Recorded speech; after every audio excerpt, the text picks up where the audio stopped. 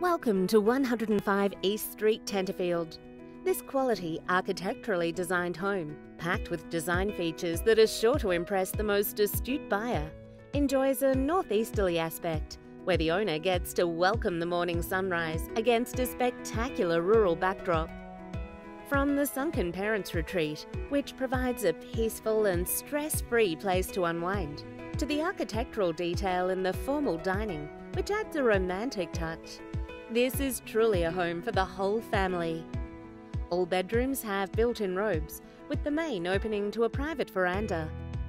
The large sunken open plan living area has a timber kitchen, informal dining and lounge area with direct access to the outdoor entertainment area with electric pergola. Three bathrooms, with the main having a spa bath.